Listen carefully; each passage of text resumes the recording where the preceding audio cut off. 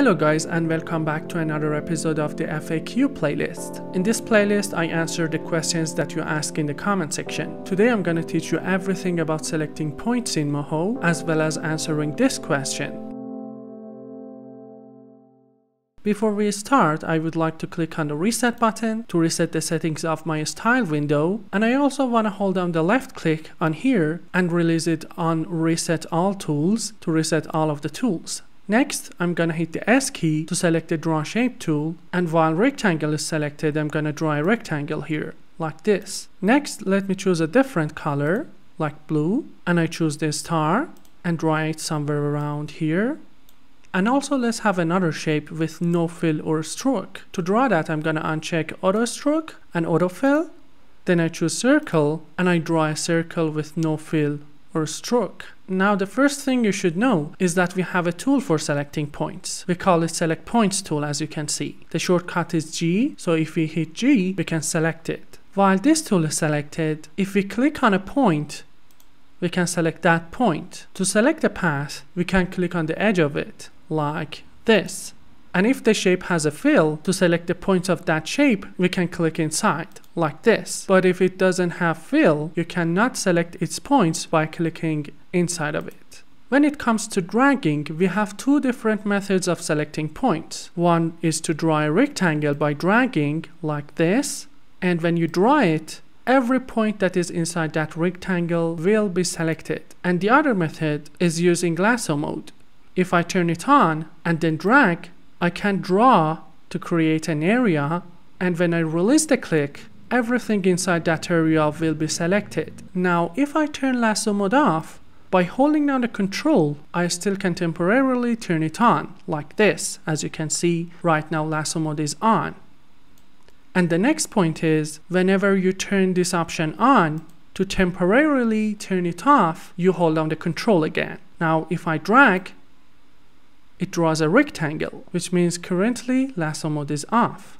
Now the thing is, select points tool is not the only tool that we can select points using it. You can also select points when these tools are selected. But then you might ask why we have a specific tool for selecting points. Couldn't we just use the other ones? And the answer is, for example, if you select this tool, you can actually select points, but you might unintentionally move them like this. So there are some cases that you just want to select a point and you don't want to move them or do other type of things to them. Let me hit Ctrl Z. So in those cases, we use select points tool so that we can focus on selecting points only. And apart from that, selecting points is not the only thing that select points tool can do. It can do other things such as creating a select group using these buttons, do a weld crossing, changing the value of simplify, splitting an edge, and also flipping.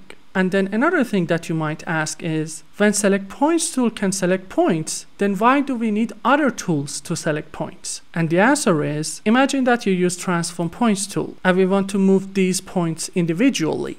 It takes a lot of time to every time go back to this tool and maybe select this point and then go back to this tool, move it, and then go back to this tool and select this one and then go back to this tool and move it. It takes a lot of time. That's why Moho lets you temporarily use select points tool while you're using other tools. Let me hit Ctrl Z and once again. And the next point is how we can enable select points tool while other tools are selected. The method is very simple. Let's say we hit T key to select transform points tool. Now to enable select points tool, we just hold down the control like this and now we can select points. And then you might ask, how can we turn on lasso mode in this situation? The answer is there is no way to turn lasso mode on or off while you're using other tools. You have to go back to select points tool and change it from here. So right now it's unchecked. That's why it was drawing a rectangle. Now if I turn it on and hit the T key again to select transform points tool and hold on the control, you can see that the lasso mode is on and we can draw to select points. Let me release the click. And now that you know how to select points, you need to know how to deselect them. In Moho, we have two different ways to do that. One way is to use the escape key on your keyboard. If you press it, it will deselect all your points, and it doesn't matter which tool is selected. See, if I choose select points tool and select some points, To deselect them, I just need to hit the escape button and it will deselect them. But apart from this method, we also have another method to deselect points. For when select points tool is selected, if we select some points to deselect them, we just need to click on an empty space like this. And let me hit the T key to select the transform points tool. In this case, let's say we click on here to select these points. Now to deselect them, we can hold on the control to enable the select points tool and then click on an empty space like this. And this way you can deselect the points that you have selected. Now let's talk about add to your selection and subtract from your selection. You can see the shortcuts from here by the way. To add to our selection, we need to use shift key. So let's say we select this one. Now to add this star, I need to hold on the shift key like this. And for this one, I need to click on the edge like that. And now we have all the points. By the way, if your goal is to select all the points that you can see, let me click on here to deselect them first. You can hit Ctrl A. This way you can also select all the points that you have in your selected layer. And now if we want to subtract something from our selection, we just need to hold down the Alt key. So now if I click on here, for example, it's going to remove these points from my selection. And to remove this one, I hold down the Alt and click on the edge, like this. The same works with drawing method. We can also drag to select these points, hold on the Shift key, add these ones to our selection, and maybe these ones, and then hold on the Alt key and remove these ones from our selection.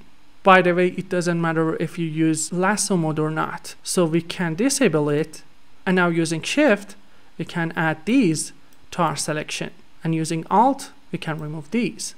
For when you use other tools, while you're holding down the control, you select the part that you want like this and now using control and shift you can add to your selection like this and using control and alt you can subtract from your selection and it also works with lasso mode. Let me show you.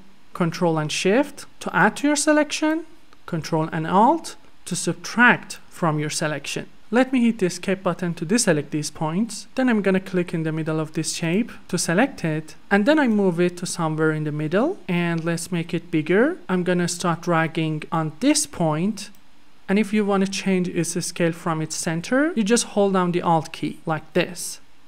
That's it. Now I'm gonna hit the D key to select the delete edge tool so that I can delete these edges like this. And then let me hit the escape button to deselect all points. And I just wanted to show you there are some cases that none of the methods that we just learned are gonna work. So let's say we wanna select the points of this star. If I hit the T key to select the transform points tool, first I can click on here, then I need to hold down the control and shift and add this one to my selection. But because it doesn't have a fill, I have to be very precise and click exactly on the edge because if I mistakenly hold down the control and shift and click on here, it will select the rectangle as well. So it's hard to do it. Is there an easier way? The answer is yes. Let me hold down the control and click on somewhere to deselect the points. This method of selection uses the tab key on your keyboard. The idea is very simple. You just select a point from a path like this. I'm holding down the control and select this one. And now if I hit the tab key, all the points of this path will be selected. See, I hit tab and it will select all the points. How about this one? Let me hold down the control and select this one. Now, because this point is a part of this path, if I hit the tab key, it'll select all the points on this path. So to select all the points of the star, let me turn off my lasso mode and go back to transform points tool. We can just hold down the control and select one point from each path. Then by hitting the tab key, we can select the entire star. And no matter how many paths you're dealing with, it always works. Let me hit the D key to select the delete edge tool. Now for instance, if I delete this one and then this one, hit the escape key to deselect them. To select all these points, I can hit the T key to select transform points tool, hold down the control and draw a rectangle that covers at least one point from each path. By releasing the click and hitting the tab key, I can select all of them. Now that's it for this example. Let me hit control A to select all the points.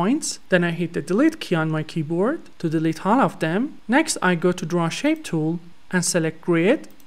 Make sure your grid is 4 times 4 and then make sure you check this option and this option so that your grid have fill and stroke and then let's also choose a white color and draw our grid Now in this example, I'm going to hit the T key to select the transform points tool. And by holding down the control, I'm going to select this point first. Then I hold down the control and shift and add this one, this one, this one, this one, this one, this one, this one, and this one to my selection. Let's give some color to these points. I'm going to select color points and change the color of them to something like blue. Then I hit OK.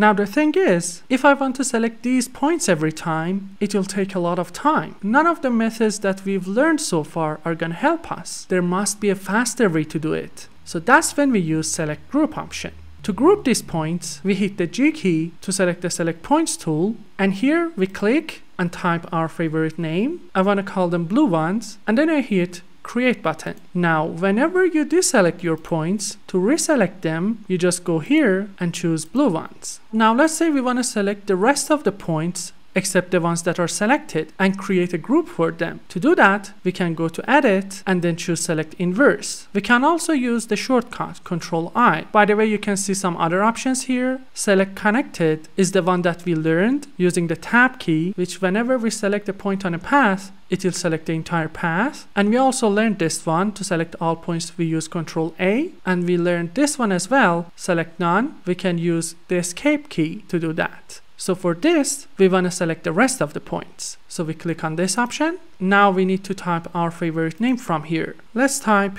yellow ones and hit the create button. Now you can see that we have the group and we can switch between them like that. Now, although we don't have a rename button or edit button here, I'm going to show you how to do it. First, let's start with editing a select group. From here, you go to your favorite group like this one. And let's say we want to add some points to this group. To do that, I'm going to hold down the shift key, add this one and add this one maybe, and I click on create button again. This will update my group. Now, if I deselect this group and reselect it, you can see that these two points are now a part of my group. To remove something from your group, you first select it from here, and by holding down the Alt, you remove this one and this one from your selection and then you click on create button to update your group. Now if I deselect it and reselect it, you can see that these two points are not a part of this group anymore. The next question is how to rename this group. Well, we cannot actually rename it, but we can duplicate it. How? First, you select your group from here, then you type a name for it, like Blue Ones 2, then you hit the create button, and this will create a new group for you called Blue Ones 2. After that, you just go back to your previous group and hit the delete button. This way you can delete your previous group. And now if I deselect my points and click on select group, you can see that I have my new group called blue ones 2, which means that if we click on it, it will select the same group, but now it has a different name, which means that we technically renamed the group. Thank you so much for watching guys. If you have a question, you can ask me in the comment section. I'll choose the best ones and answer them in a video like this. Don't forget to like, subscribe and share and see you in the next one. Música